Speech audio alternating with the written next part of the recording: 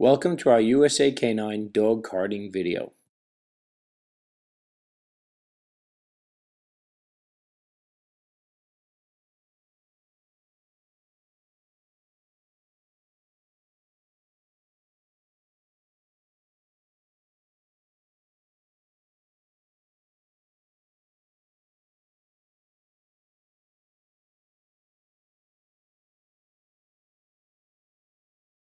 It's important that you test your dog before you start carting with them. Here we are testing one of our dogs.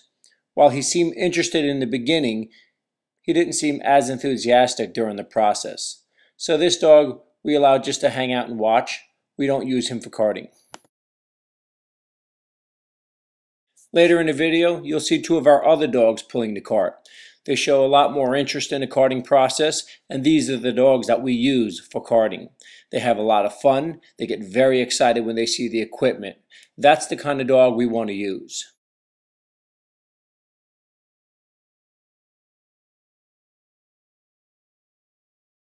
Carting is supposed to be fun for the dog and the owner. No dog should be forced into this work.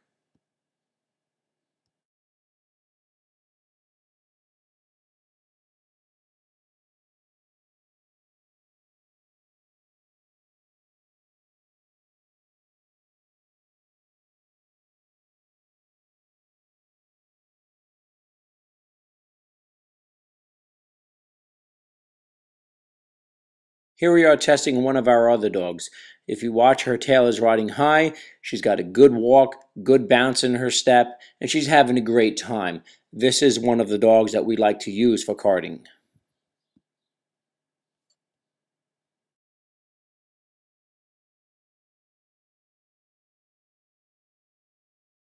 Do not hook your dog up to a cart under the age of two. All three dogs in this video are over two years old. It is very important your dog's bone structure does not fully set until they're about or slightly over two years old. Doing so can severely hurt the dog.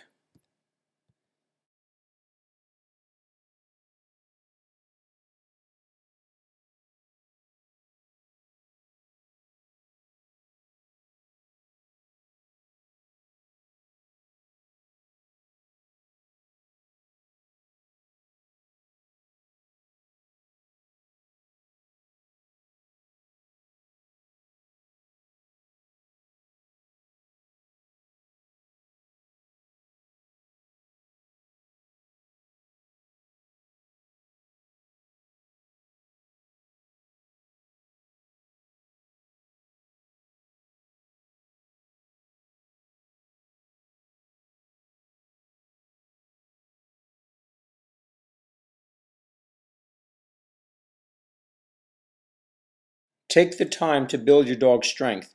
We don't just go into the gym and lift the heaviest weight we can. That's how we get hurt. It's no different for your dog.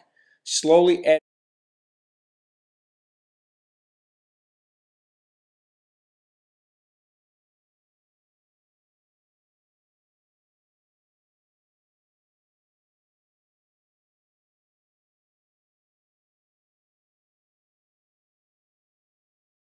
What you'll see here now is Asha's pulling well over 250 pounds, and she's a 65 pound dog. If done properly, the dogs can pull two, three, even four times their weight.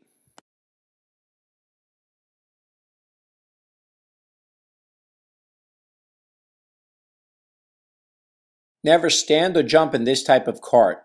The two rails put a lot of downward pressure on the dog's feet. If you notice I'm leaning back, keeping the rails up. You can actually balance the cart as you move. The way to get into this cart is to straddle it, then sit back, immediately raising the two side rails. Again, do not lean forward, stand, or jump on this cart. You can hurt your dog's feet.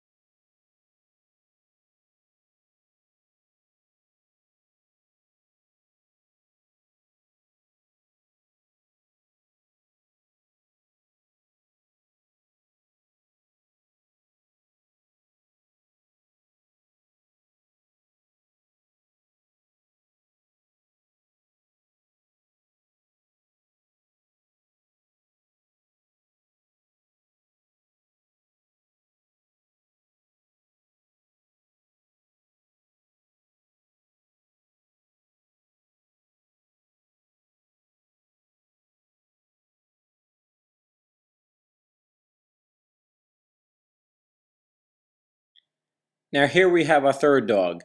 This dog shows a lot of promise. He loves to pull the cart. This is the kind of dog you want to pull a cart. The dog should never be forced to do this work. He should be willing to do this on his own and have a great time doing it.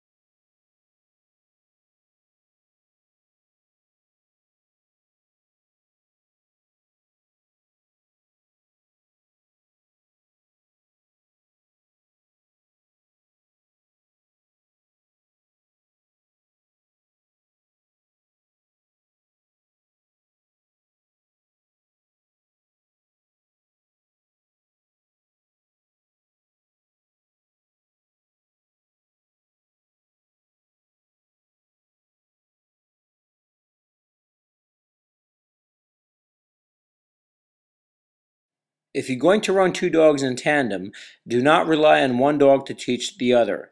Each dog should be run individually and taught the job as an individual. Over time, you bring the dogs together. Here's an example of two dogs running in tandem successfully.